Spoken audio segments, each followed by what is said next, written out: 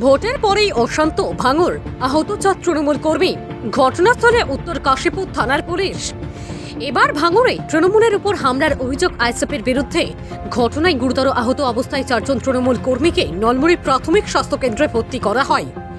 ঘটনাটি ঘটেছে ভাঙর দু নম্বর ব্লকের ভোগালী দু নম্বর অঞ্চলের ভুমরু এলাকায়। স্থানীয় সূত্রে খবর, তৃণমূল কর্মীরা আবির খেলার পর তৃণমূল পার্টি অফিসে বসেছিল। সেই সময় আইএসএফের লোকজন তৃণমূল কর্মীদের উপর হামলা চালায়। বেধরক মারধর করা হয় বলে অভিযোগ।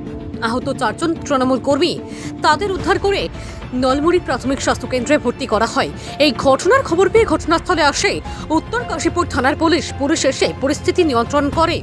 ঘটনায় আইএসএফের কোনো প্রতিক্রিয়া পাওয়া যায়নি। হ্যাঁ আজও আমি এখনই শুনলাম যে ওখানে আমাদের পঞ্চায়েত সদস্য তার মাথা ফেটেছে। মানে গোটা ভাঙড় জুড়ে সন্ত্রাসের রাজত্ব কায়েম করার যা যা কাজ, সেটাই আইএসএফের সমাজ বিরোধীরা করছে। আমরা আমাদের কর্মীদের সংযত থাকতে বলেছি। পুলিশ প্রশাসনের প্রতি পূর্ণ আস্থা আছে। আমি আশা করি প্রশাসন তার যথাযথ ব্যবস্থা নেবে।